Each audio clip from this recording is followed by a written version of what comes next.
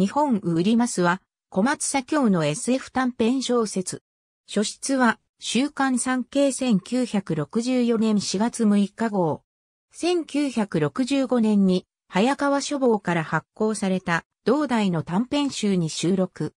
1999年に、角川春樹事務所からも同代の短編集が発行されている。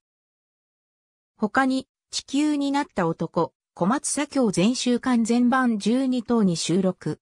ある日、日本の国土を構成する約2000の島々が、その上の住民ごと忽然と地球上から消滅した。残された世界の人々がどれだけ調査を重ねても、原因がわかることはなかった。それから30年後、かつて日本列島があった海の上を一隻の船が運航していた。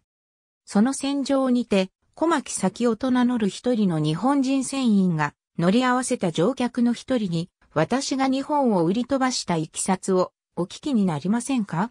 と語り始める。30年前、下級船員でペテン師だった小牧は、マルセイユの安酒場で、金持ちらしい、カエルのような奇妙な小男に出会った。どこか、島を買いたいという男に、彼は、手付金を騙し取ってやろうと、日本そのものを買いませんか？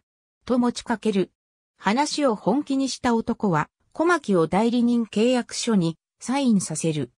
ペテンを仕掛けるつもりだった小牧は、気がつけば男の言いなりになるがまま、日本列島の不動産買い占めに奔走する羽目になる。そして日本列島の土地という土地は、巧妙な手段で誰にも気づかれぬまま男の所有になっていく。発行、角川春樹事務所、1999年2月18日、第1冊、ISBN4 から89456493発行、早川書房、1965年。ありがとうございます。